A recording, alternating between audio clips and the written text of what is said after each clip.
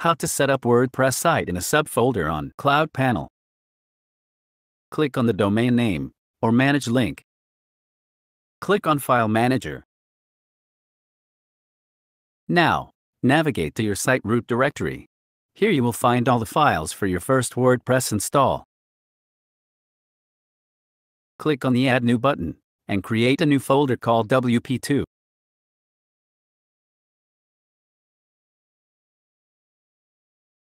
Now, open the folder WP2. Here we will upload the WordPress installation zip file. I have already downloaded the WordPress zip file on my system and will simply browse the folder and select it to upload. Wait for the upload to complete. You can upload using SFTP also if required.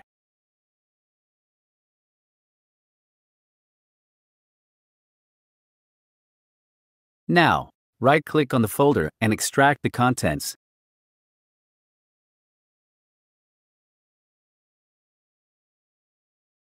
Browse the extracted folder, select all the files, cut them and paste it in the WP2 folder.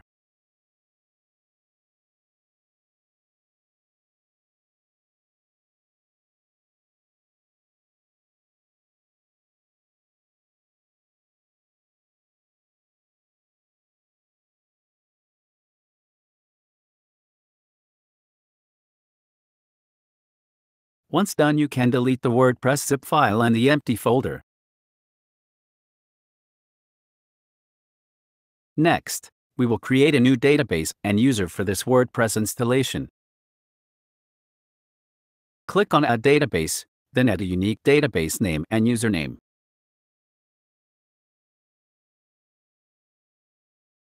I am using the same name just for this demonstration. Do not use underscore in the name, as that is not supported in CloudPanel. I have copied the password to my clipboard as this will be used in the next step during WordPress installation wizard. Finally, click on Add Database.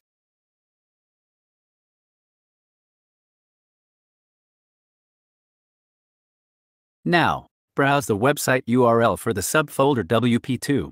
This will load the WordPress installation wizard. Follow the steps and complete installation.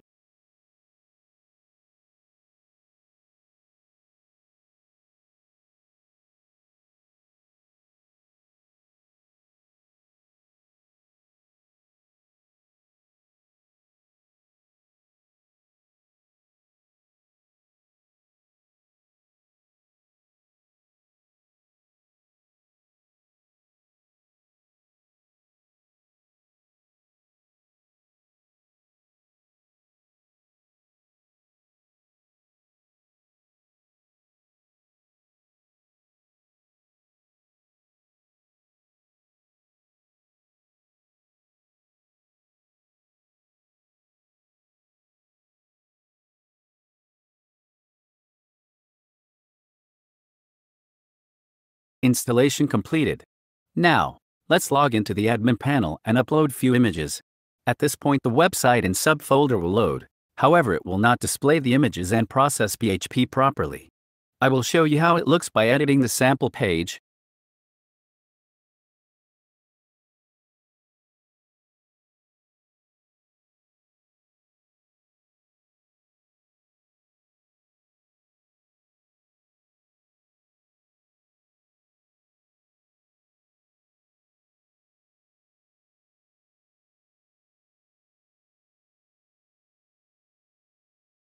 deleting some content and adding an image from the media gallery.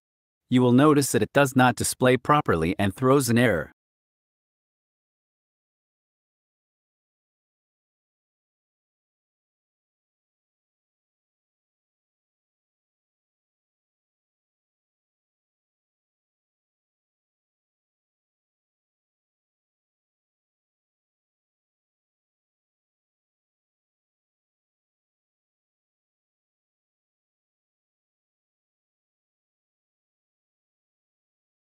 Now, let's fix this by adding few lines in the vhost of the main site.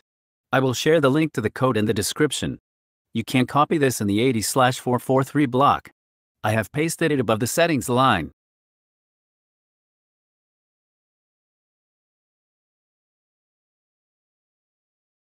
You may want to replace WP2 with the name of your subfolder. If you want more websites running in a subfolder, create a similar block for each site.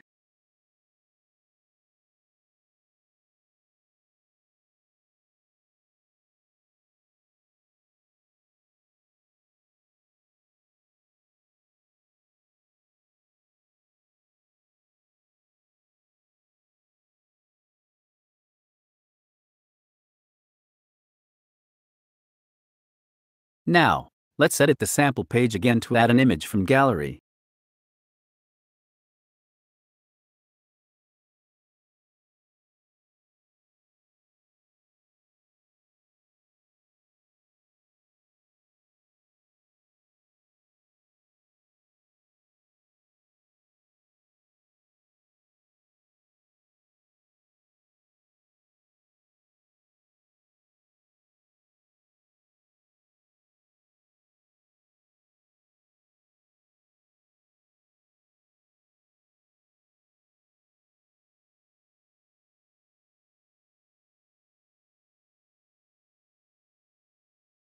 Update the page and load it in the browser.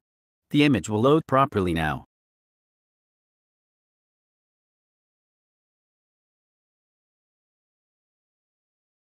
Congratulations!